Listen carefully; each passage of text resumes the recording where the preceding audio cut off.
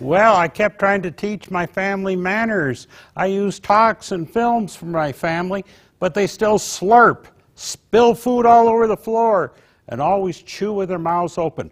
Oh, they're dogs. Yep, it's my holiday dinner at my house.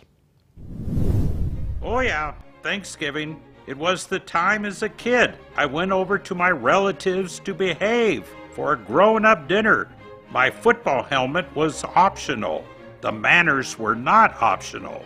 You're worried about not doing the right thing. Your table manners. It was one of those someday you will understand deals. You may not care much about table manners now, but when you grow up to be me, then you'll care.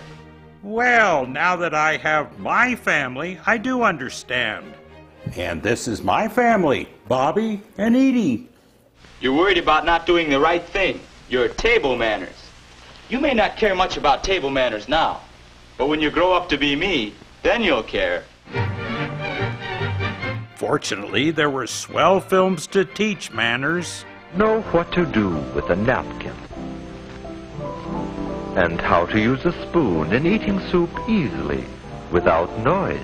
To take small mouthfuls, so we never have to talk with food in our mouth. It is good to have learned to chew with lips closed. And know when to take a drink. Yes, make me proud.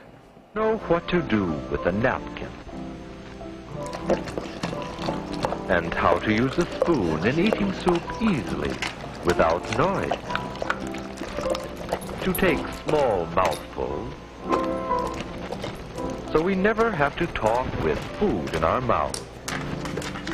It is good to have learned to chew with lips closed. And know when to take a drink.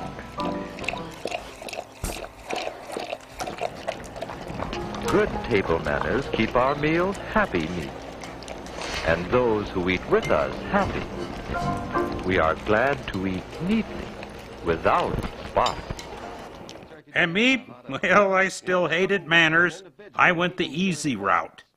With Swanson TV turkey dinners, you just heat and serve, and you serve big and hearty slices of moist, tender Swanson turkey with grand giblet gravy and special cornbread dressing and fluffy whipped sweet potatoes with golden Swanson butter mmm. and garden fresh peas with more butter. Mmm, mmm Mother Murphy, lucky me. Well, in truth, I'm a vegetarian, and I had tofu. You know, I've always wondered why no one in the newsroom will come over to my house for dinner.